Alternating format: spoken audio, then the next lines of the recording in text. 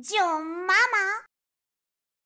Hey, little Crime Stopper, back for more? Mm-hmm. I got something you might be interested in. Yes, please. Turns out that scum you fucked up is just the low guy on the totem pole. Really? We now believe the real kingpin is over here, on your phone, that I'm holding right now. But that's a video. Thanks for letting me hold your phone to show you this.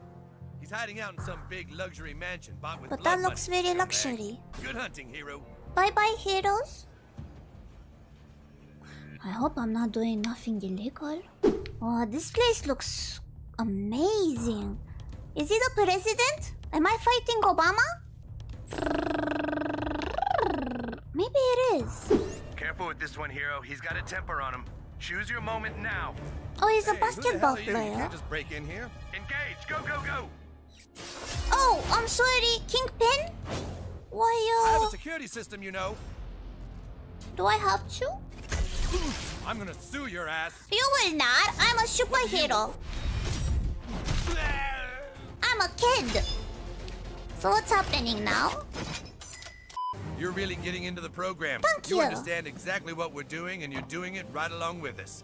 Meet me back at the station. I've got something for you. Hi, hi. Oh shit, a criminal! And he's with an innocent child!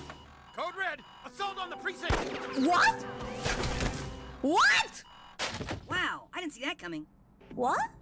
Dad, what the fuck are you doing here? Um, huh.